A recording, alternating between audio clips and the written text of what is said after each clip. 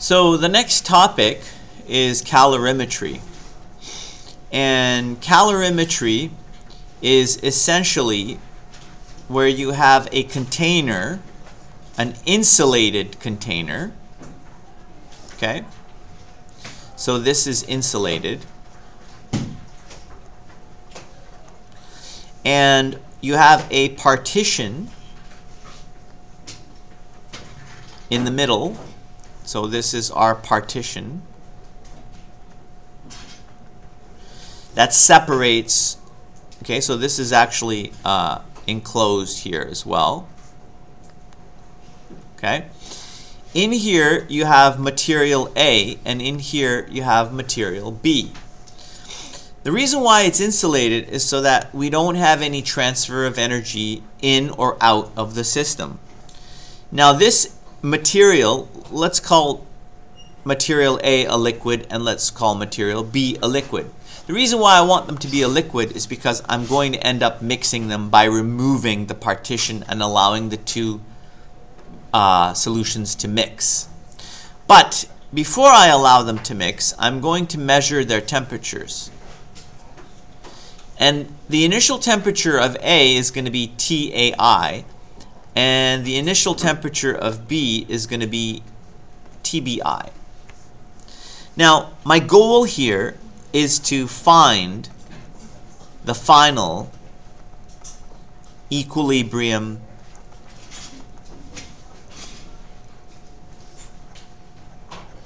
temperature, TF. In other words, when I remove the partition, okay, so I'll say after removing partition.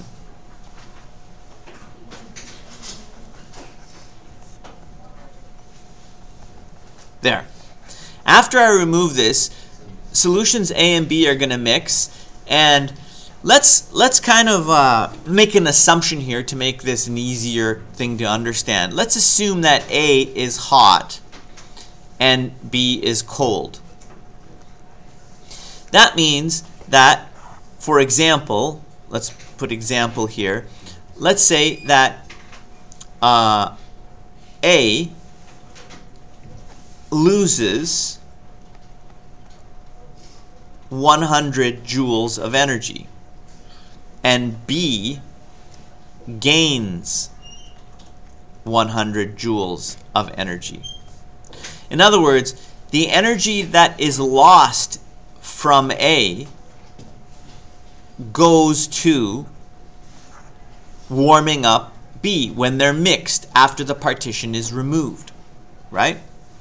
That means that since this is insulated, since the, the outer container is insulated, the change in energy, the total change in energy is going to be zero. Okay? Now, that means that if A loses energy and B gains energy, let me write down the change in energy like this. The change in A and the change in energy of B is going to be zero. In other words, if we take this example that I have over here, right, with the 100 joules, then that means A has a loss of 100 joules and B has a gain of what oops of a gain of 100 joules. And the, the the total as one loses 100 the other gains 100 the total is still zero. The change in the total. You understand? I'm not talking about what the total energy is. I'm talking about the change. Because this is insulated that means that whatever one loses, the other one must gain. Now, since we know that the heat transferred out of a material is defined by the equation Q, or the heat transferred into or out of a material is Q, and we know Q is equal to mc delta T, that means the change in the energy is equal to Q. Okay? In or out. In other words, if it's if it's losing energy, it's a negative Q, and if it's gaining energy, it's a positive Q. That means that we can replace this delta with a Q. We can say QA plus QB must still be 0, again, because the outside container is insulated. Now let's write the equation out. We'll say, and we have to be careful with our subscripts here. This is MACA delta TA plus MB CB delta TB. And all that is going to be equal to 0. Now, what I'm going to do here is I'm going to write out the formula for delta, which is final minus initial. I'm going to apply that to here.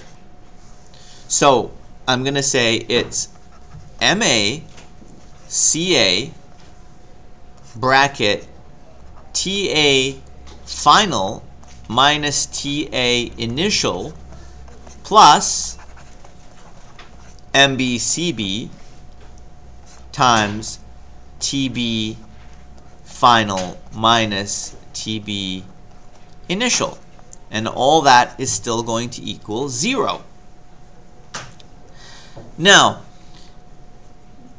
what we need to realize here is that after removing the partition and waiting for a while, we reach equilibrium. So after equilibrium is reached, in other words, this, may, this might take a few minutes before they settle down to a common temperature. What we need to re recognize at this point is that the final temperature of both substances are going to be the same. They're going to reach a common sa same temperature. And because of this, mathematically we can replace this term instead of seeing instead of saying TAF and TBF, since they're the same value, we can just replace it with TF. And so now I'm going to do that. I'll rewrite this equation, but when I do, I'm also going to expand. Okay? Also, expand. So I'm going to multiply.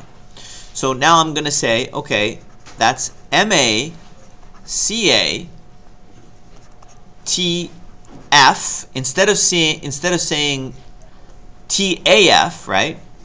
I'm going to just say TF. There it is. And now I'm going to say minus MACA TAI plus MBCB times TF, right? Because this is the same as TF minus MB CB TBI. And all that is still equal to 0. Now at this point it looks kind of ugly, but don't worry. What we're going to do now is we're going to collect TF terms and isolate them. So the TF terms are here and here. So let's collect those and let's move the other terms. Let's move this guy, this, this guy, let's move it to the other side. And let's move this guy to the other side. And let's write the whole thing again. So we'll say MACATF plus MBCBTF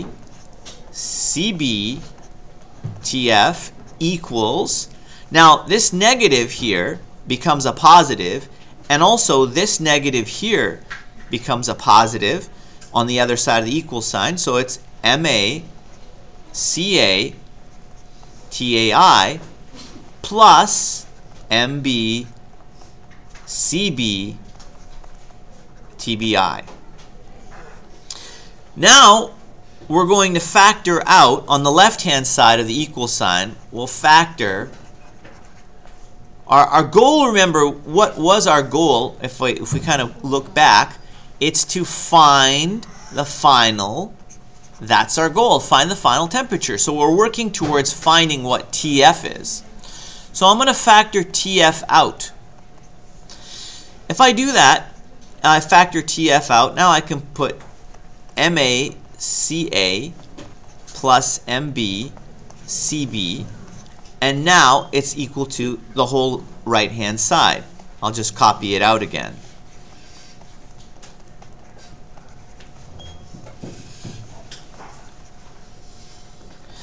Now I'm just simply, in order to solve for TF, now it's easy, right?